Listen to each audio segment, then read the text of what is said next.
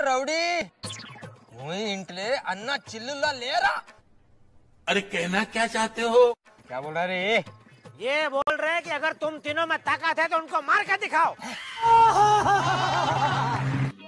समझ रहे हो समझ रहे हो आप समझ रहे हो ना क्या जेठालाल वाइफ के लिए मार खाना पड़े तो खाना पड़े